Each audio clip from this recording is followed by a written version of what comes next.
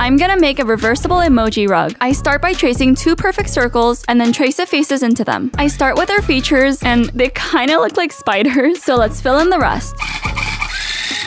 Glue them up so they never change and make them reversible.